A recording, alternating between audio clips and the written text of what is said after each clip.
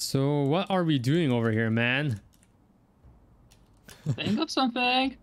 Uh, This is this is actually kind of funny. This is actually like a real battle would go like in real life. This is how it played out. It's actually this is if, if you're talking about a historical total war game, this is Oh, quite yeah, this is historical. yeah, this this is what you want with a historical game. Bring it on. Okay, every battle is gonna be one hour long. It's down because General charge through middle.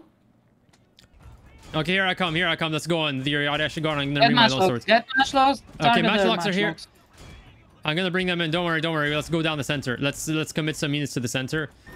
I'm gonna go. For, I'm gonna charge down the Mori general here. I'm losing. I need. I need more men in this. Uh, the Yari Ashigaru are a real problem in the center there. They're really annoying.